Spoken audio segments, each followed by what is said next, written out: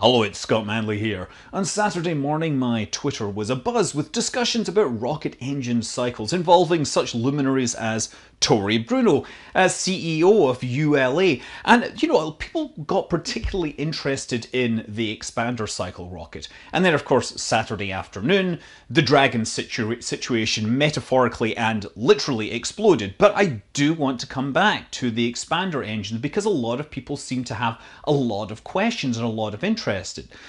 Now I did mention expander cycle engines in my more general video on fuel cycles, but uh, to give you a quick summary, when you have a high performance rocket engine, you need to have a high power pump that takes the fuel from the fuel tank and the oxidizer tank and it forces them into the combustion chamber at higher pressure. Now you can do this in some cases, say with an electric pump driving or an electric motor driving a pump, but most rockets do this with a turbine driving a pump, hence the term turbo pump. Now the power or the exhaust, the gas to power that turbine in most rockets, that comes from something called a gas generator. That's where you're burning a small amount of the fuel and oxidizer. And it's basically a miniature version of the rocket engine, blowing the exhaust gases over the turbine and driving the main pump. And then the output from that main pump goes into the engine. But for expander cycle engines, what they instead do is they take the cryogenic fuel and they float around the outside of the combustion chamber and they take that heat boil the fuel and then use the vaporized fuel to drive the turbines.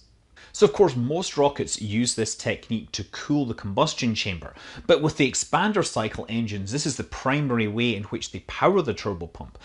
This engine cycle was actually used in one of the most successful engines in history, the RL-10.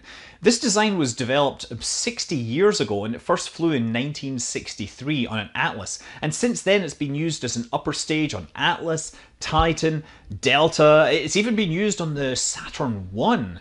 And it'll also be used in future rockets, in the SLS, in the Vulcan, on the Omega, and it might also be used as landing engines for uh, lunar landers. All the expander cycle engines that have flown work with liquid hydrogen as a fuel and liquid oxygen as an oxidizer. Now the boiling point of liquid hydrogen is about 20 Kelvin and you know the engineering challenges of working with hydrogen frequently revolve around stopping it from boiling but of course when you need it to, it's great that it boils at such a low temperature. I mean, uh, it turns out that starting up many of these expander cycle engines is literally a case of letting the gas flow into the engine, which will be at some ambient temperature, which is well above the boiling point of hydrogen. And from there, that gives them just enough thermal energy to start the pumps properly and start the full engine cycle. But once the engine starts properly, it gets its energy from the combustion chamber. In the RL-10, the hydrogen is flowing through the walls of the combustion chamber, keeping it, of course, at very low temperatures. But inside of the combustion chamber, the temperatures are thousands of degrees Celsius and, of course, will melt practically anything you can think of. In the design of the RL-10, the liquid hydrogen comes into the engine through its pump. And from there, it's driven through the walls of the combustion chamber and the nozzle, where it absorbs a lot of heat. It boils, its temperature rises by a couple of hundred to a few hundred degrees Celsius.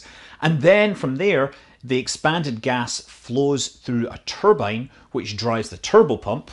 And then as the gas leaves the turbo turbine, it then is goes into the main engine and of course meets the oxygen. Now there's obviously also an oxygen turbo pump. In the case of the RL10, uh, the turbo pump for the oxygen is driven by a gearbox. Hydrogen is very bulky and you need to have, pump a lot more of it, so you don't need nearly as big a turbo pump for the oxygen.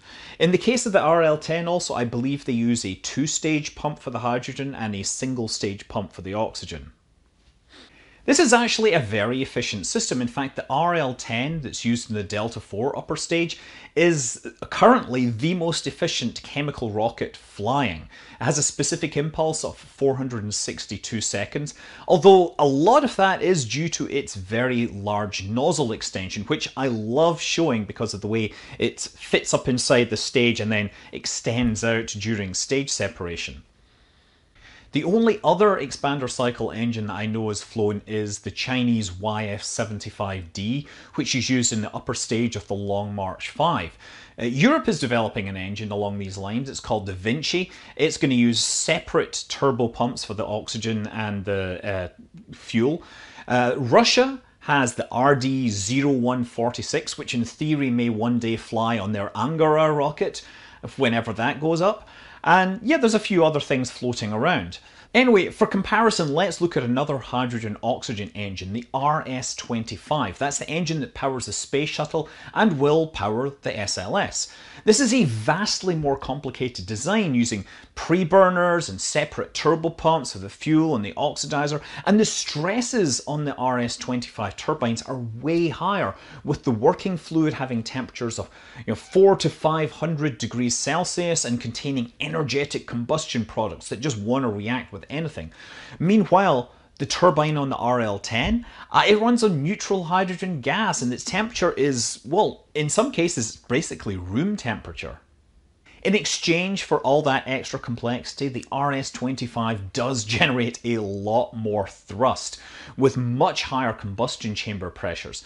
The RL-10, by comparison, is only ever operated as an upper stage, and it never is used to, to lift a spacecraft against Earth's gravity.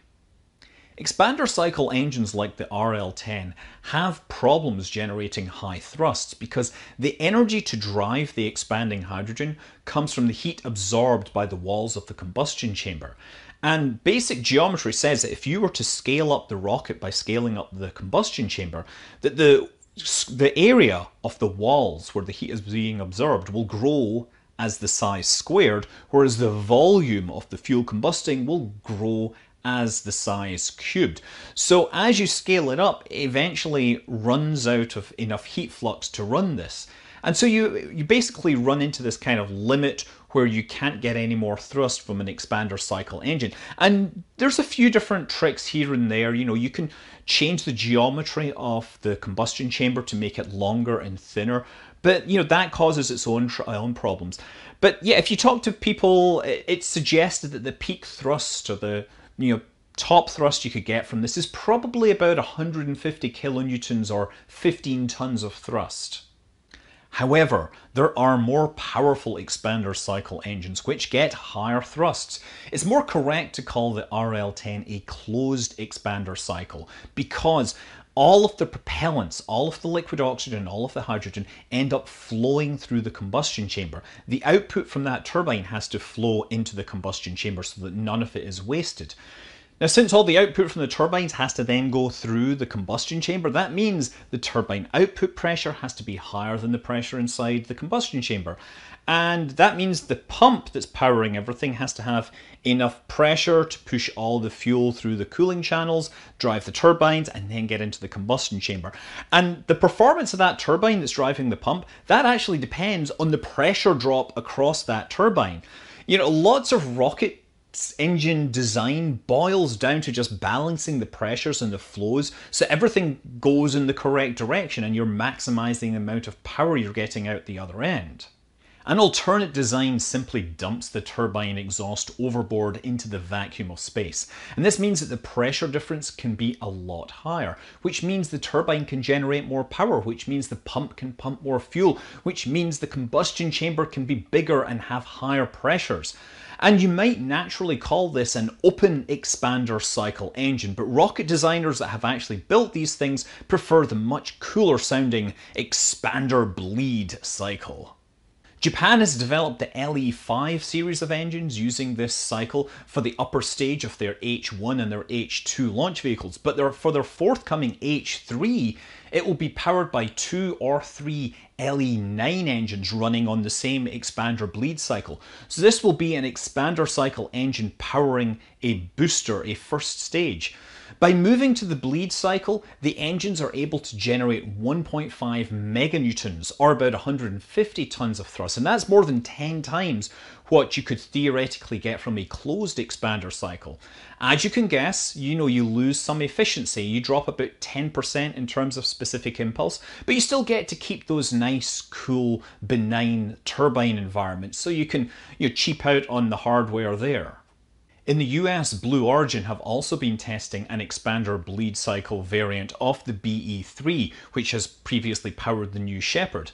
The new variant is called the BE3U, and two of them are supposed to power the upper stage of the New Glenn. The Blue Origin website specifies a combined thrust of 1100 kilonewtons, so that's about 550 kilonewtons per engine, which is a bit of a step down from the stock BE3, but I, am sure it gets better specific impulse. Um, incidentally, that BE3 that powers the New Shepard, that's also kind of a rocket science curio because it uses something called the combustion tap-off cycle. Instead of having a dedicated gas generator or pre-burner, it actually ha it takes uh, gases, exhaust gases from the combustion chamber and uses that to drive the uh, turbines. It's the only uh, rocket engine that's flown with this design as far as I can tell. So I've described two basic types of expander cycle engines, but of course rocket scientists are always inventing things and there is a fantastic article on expander cycle engines on the NASA website. It's by a guy called William Green and he worked on the J2X which was supposed to be a, a better upper stage for the SLS. The project is currently shut down but the articles are still up there and they make fantastic reading. And uh, I'm just going to give you a quick rundown of some of these variants. So now if you remember that all these propellant flows require pressure differences between input and output of each step, and pushing all that fuel through the cooling channels in the combustion chamber, that requires extra pressure. So one idea is called the closed split expander cycle, where you have a single uh, shaft that's driving two separate turbopumps of the fuel. And some part of the fuel goes directly to the combustion chamber and the other part goes through the uh, cooling channels and then dries the turbopump. And in theory, this might get you some better performance, but of course, it increases the engine complexity. A second concept is the closed dual expander cycle. And this uses you know, fuel expansion to drive the fuel pump, but it also uses the oxidizer to cool the combustion chamber and then uses that oxidizer to drive the oxidizer pump. Now, a significant engineering problem in creating, in running rocket engines like this is making sure that the fuel and the oxidizer remain separate. And if you have a turbine connected to a pump and the turbine is being driven by fuel and the pump is pumping oxidizer, it's possible for the oxidizer to leak through the you know, bearing between the two things. So you need a very complicated sealed bearing. What they will, one of the things they, or one of the tricks they use is they pump helium into the bearing to make sure that the fuel and the oxidizer never touch. So by using oxidizer, the liquid oxygen, boiling it and then driving it to using, allowing it to drive the turbine, uh, you keep this separate until the very last minute so you can have much simpler bearings. Of course, you're now having you know, a lot more complicated plumbing. Maybe this works, maybe it's not. I, I've only ever seen designs on paper for this. There's also concern about having spinning metal in a pressurized oxygen environment because of its propensity to you know, make metal burn. And of course, if you're a rocket scientist, you can combine both these tricks to create a closed dual split expander cycle because why not? A final idea is to augment the heating with a gas generator and a heat exchanger. So you're, you're burning some of the fuel and oxidizer and you're using that to heat the hydrogen even more. And so you need, that gives you a bit more thrust. You're obviously dumping the gas generator over, but it's kind of a halfway step between a full open expander and a uh, full closed expander. I actually know that saw that uh, William Green has a patent on this. So again, been designed, there's a patent, but hasn't ever been flown. So yeah, that's my rundown of expander cycle engines. They basically take the problem of the heat and they exploit that to drive the engine itself. And it's a sound concept. The RL10 has been around for almost 60 years and it will be around for decades to come because it is a fantastic engine and a fantastic concept. I'm Scott Manley. Fly safe.